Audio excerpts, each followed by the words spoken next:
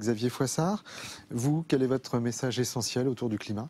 Sur le climat, c'est le climat de la ville, c'est la, connaissance du territoire, ça passe par l'observation, la mesure et la modélisation. Ça permet d'avoir déjà un état des lieux de ce qui existe et de connaître justement les points forts, les points faibles, par exemple d'un quartier ou des, quartiers environnants pour, euh, agir au, on va dire au plus proche.